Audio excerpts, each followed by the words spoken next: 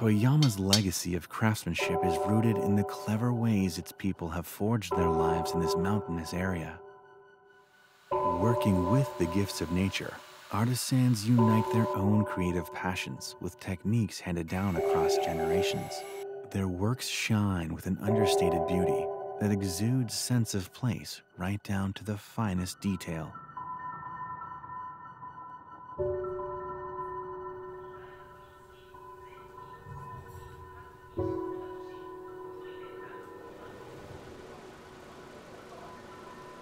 親父が最初にやってましただからあこにあるこういうもんも全部親父が考えたんです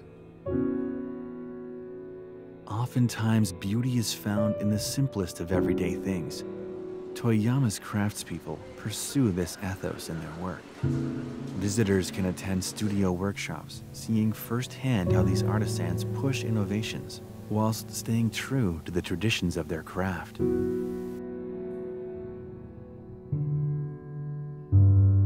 飲み物やもんであまりそういう毒のものを使いたくなかったもんで。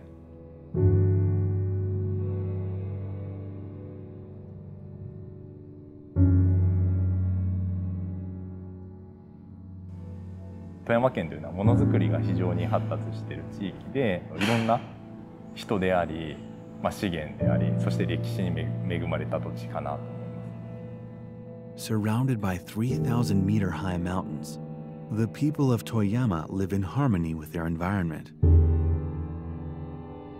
Products wrought by their hands, using materials gathered close by, exude authenticity.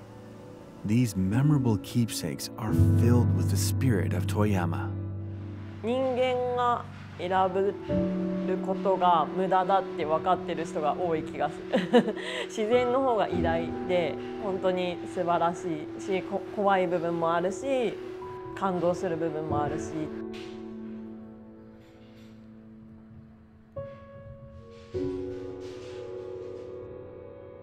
Toyama boasts a long history of craftsmanship focused on items for everyday use that are beautiful to the eye and pleasing to the touch. Encountering these works adds to the delight of any visit. Artisans here bring their own creative passions to a rich legacy of techniques handed down across decades. Their innovations point the way forward to new currents in their time-honored trades. だからこれが日本だとか、まあ、昔から伝わる何か日本の 伝統的なものをそのまま出すとかではなくて今の僕たち僕日本人が作るものが日本人らしさで受け取ってもらえれば一番分かりやすいかなとは思って作ってあげますけどね。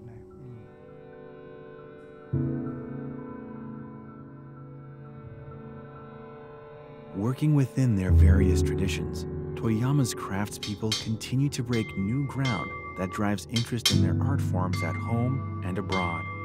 Their masterful skills, carried on and expressed in so many diverse ways, enrich the lives of those who encounter them. Indeed, Toyama craftsmanship is the epitome of modern luxury.